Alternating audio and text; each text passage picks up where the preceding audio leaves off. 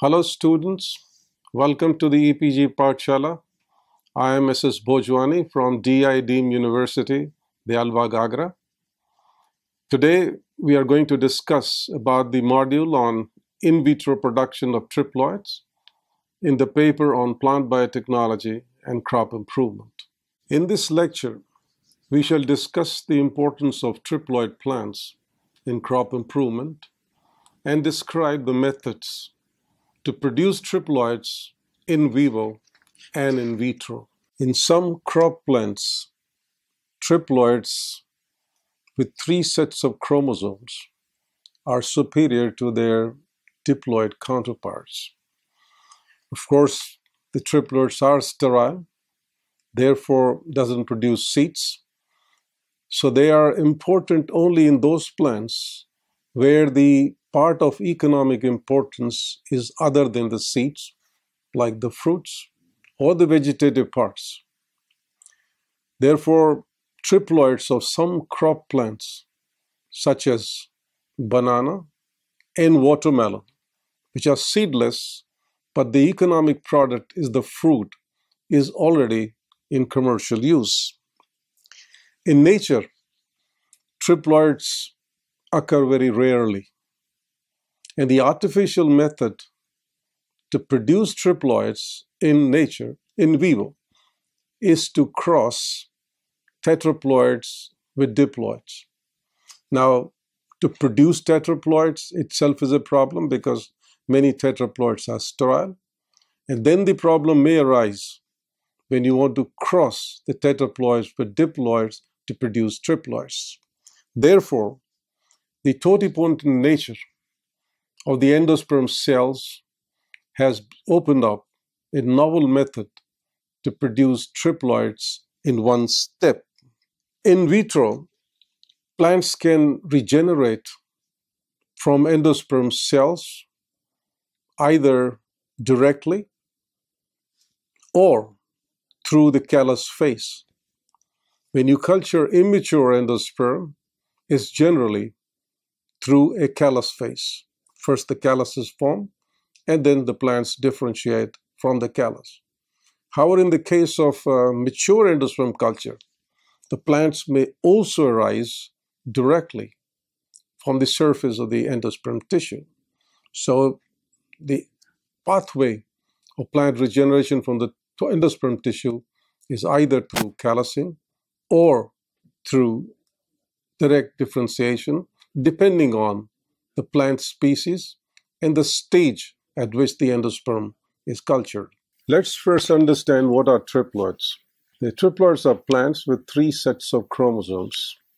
They are very important in uh, genetics and plant breeding. Some of the triploid plants or crops are superior to their diploid counterparts. For example, we have apple, banana, hop, mulberry, sugar beet, tea, watermelon, etc., which are already in commercial use. The conventional method to produce triploids is that you first take a diploid plant, you duplicate the chromosome number by treating with colchicine and get tetraploids. And then the tetraploid is crossed with the diploids. And when the diploids and the tetraploids are crossed, because the gametes of tetraploids are 2n and the gametes of diploids are haploid. So when they are crossed, they produce a 3n plant. It's a triploid plant. That's the conventional method. But it has certain problems. Very often the tetraploids are sterile. Secondly, the crosses of tetraploids and diploids may often fail. The in vitro method to produce triploid is welcome. In plants, most of the plant body cells are diploid. And when they produce gametes through meiosis, the gametes are haploid. But a unique phenomenon in the angiosperms called double fertilization fertilizes two cells in the female gametophyte.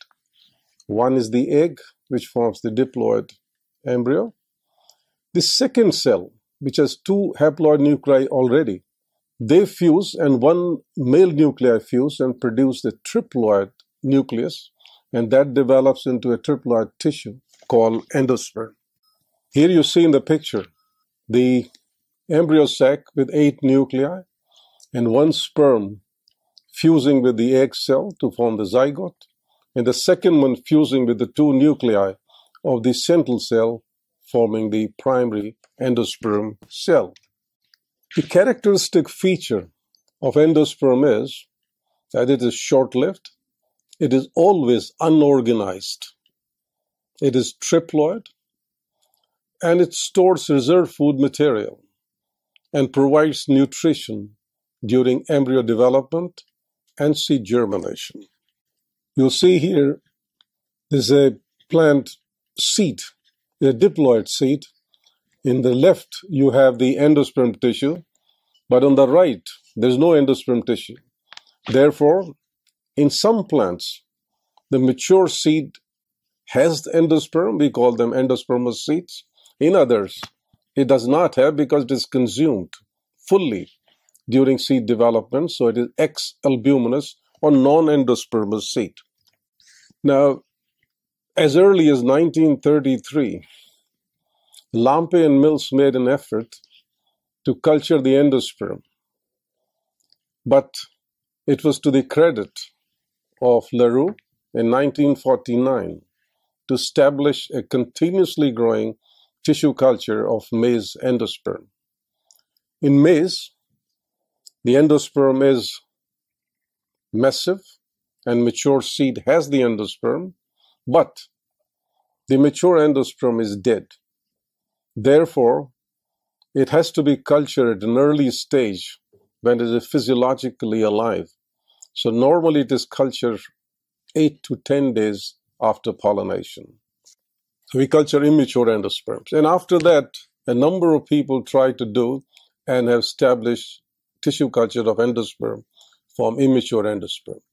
But it was only in 1963 that Mohan Ram and Satsangi succeeded in getting some proliferation of the mature endosperm of castor bean.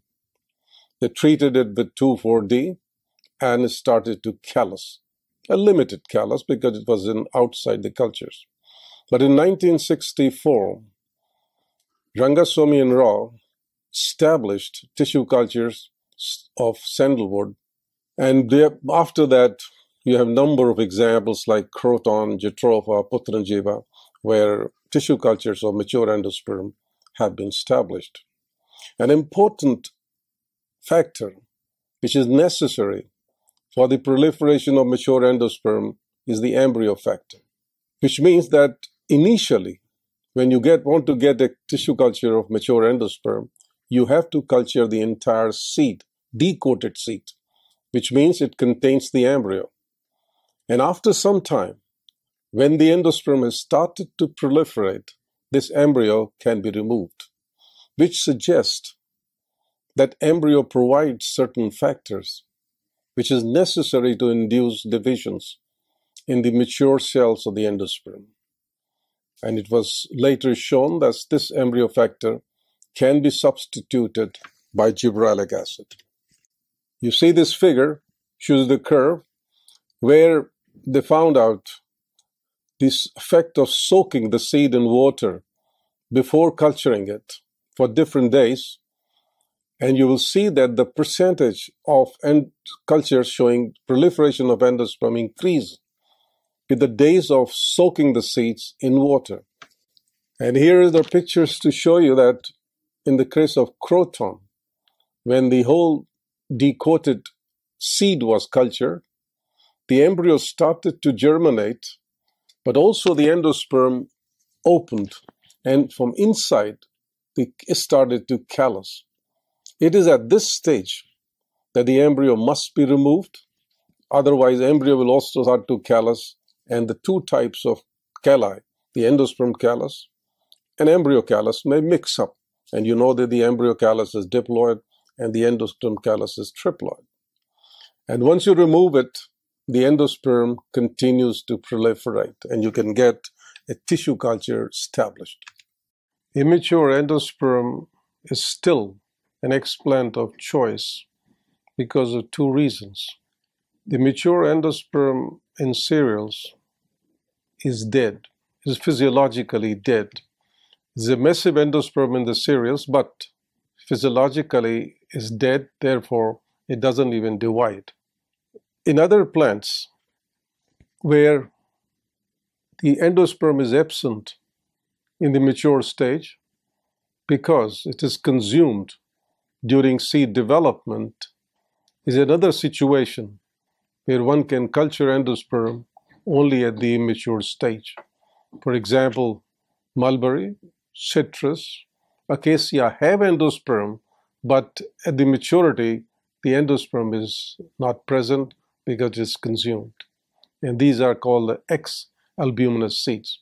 So wherever the endosperm is not there in the mature seeds, or the endosperm is not alive, the choice is to culture the immature endosperm. The important factor to establish tissue cultures of endosperm is the culture medium, as in most other tissue culture systems. When Lampe and Mills 1933 started endosperm culture, he used potato and young corn green extract. But LaRue in 1949, when he established the tissue culture, he used a variety of natural extracts like tomato juice, green corn juice, yeast extract, cow's milk, of which tomato juice was the best. But tomato juice is not a defined supplement. You don't know what it contains. So eventually in 1960s, when Strauss worked on the endosperm culture of maize, he demonstrated that yeast extract was as good as tomato juice. So one could substitute. But yeast extract also is not a pure substance. It contains a number of compounds beside the vitamin B complex. So in 1960, he, Strauss again demonstrated that instead of using yeast, one can make a defined medium by adding asparagine alone, which could substitute for yeast extract. And Nakajima in 1963, with a detailed experiment on the nutrient requirement, established that a medium containing auxin, a cytokinin, and an organically rich compound like yeast extract and casein hydrolysate is necessary and this is the medium that is widely used. Now, for a very long time, it was a kind of a myth, both with the embryologist and the tissue culturist. They felt that the endosperm tissue, which is not a normal tissue, because it has an additional set of chromosomes, is not capable of organizing into plants because in nature there is no example whatsoever that the endosperm forms an organ, even root, or not even cellular differentiation like tracheidal differentiation. So for a very long time, people felt that endosperm lacks the totipotency because of the presence of the third set of chromosomes.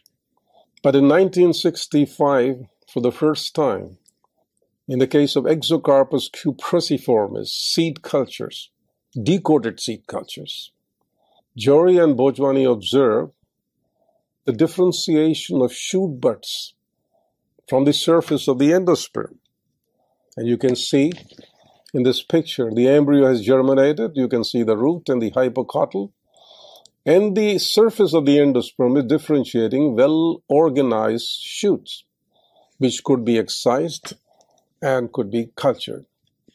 After that, regeneration of plants or shoots or embryos has been reported in 23 species, including many important crop plants such as apple, citrus, kiwi fruit, mulberry, papaya, rice, and sandalwood.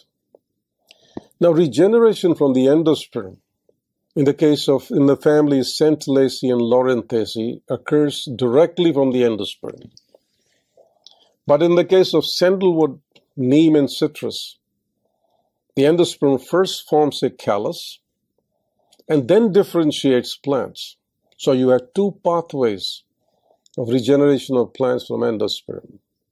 One is a direct regeneration, other is after callusing. And even from callus, when you put on another suitable medium, regeneration is either by organogenesis or by embryogenesis.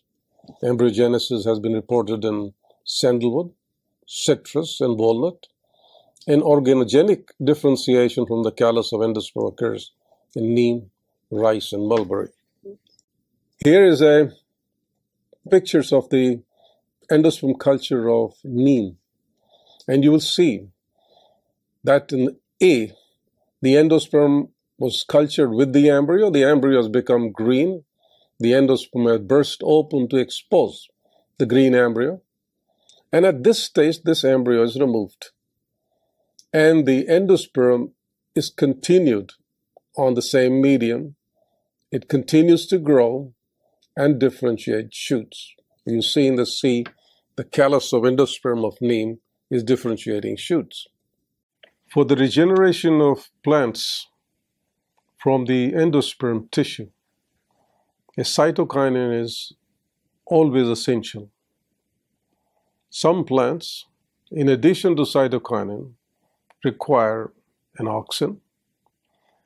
And where the regeneration occurs via callusing, it may be a two step process because you may require one medium for callusing on which it may not differentiate and require transfer to another medium for the differentiation of organs. For example, in the case of mulberry, the endosperm starts callusing on a medium on BAP and NA, but for the continuous growth of the callus, it is subcultured on a medium with only 2,4-D.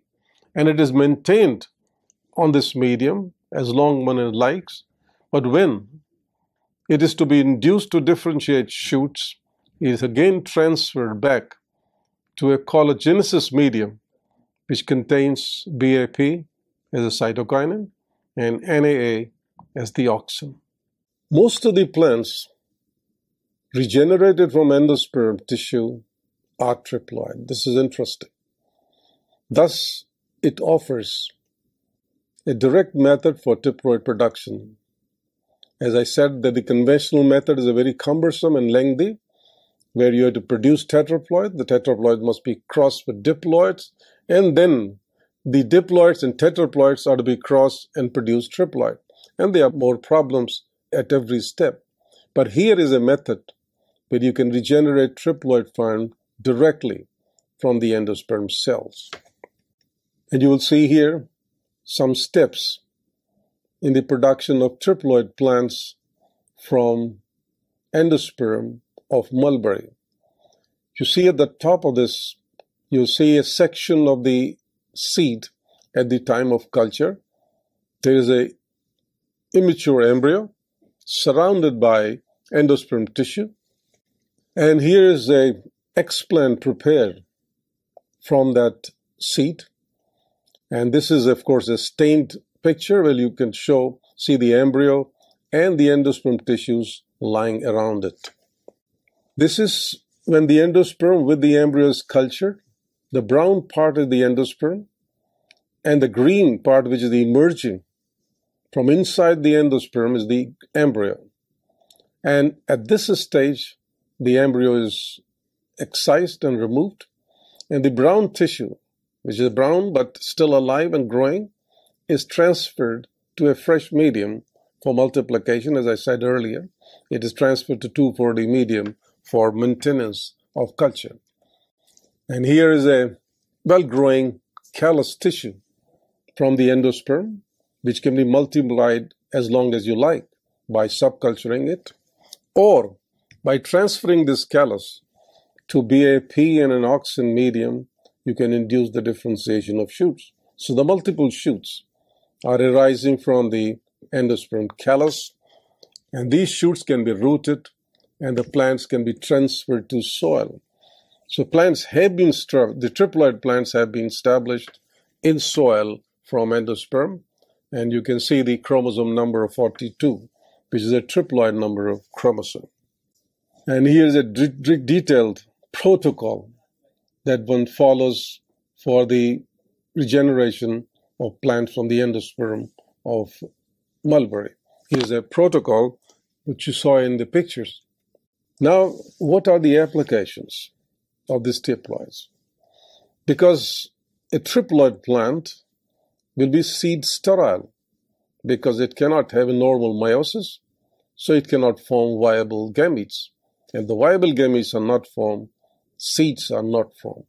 However, there are plants where seed is not the commodity of commercial purpose. It's the other parts of the plant that are used.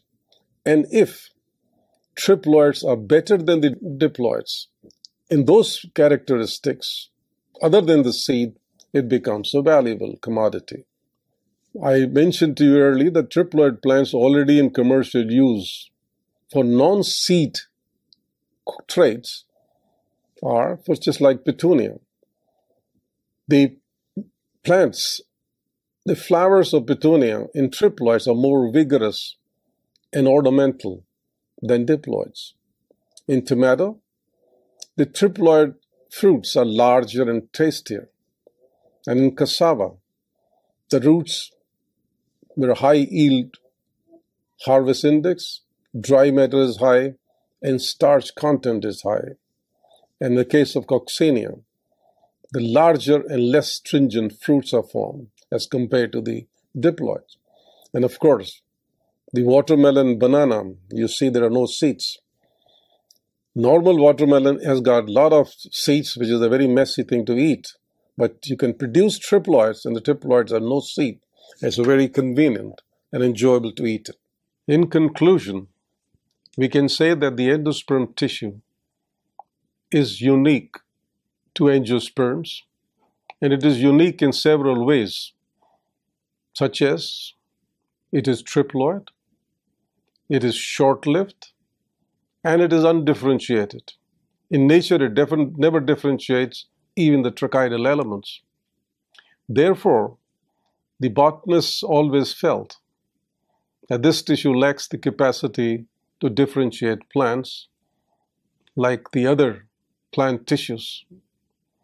However, this myth was removed when in 1964 Johri and Bhojwani reported the differentiation of shoots from the mature endosperm of Exocarpus species.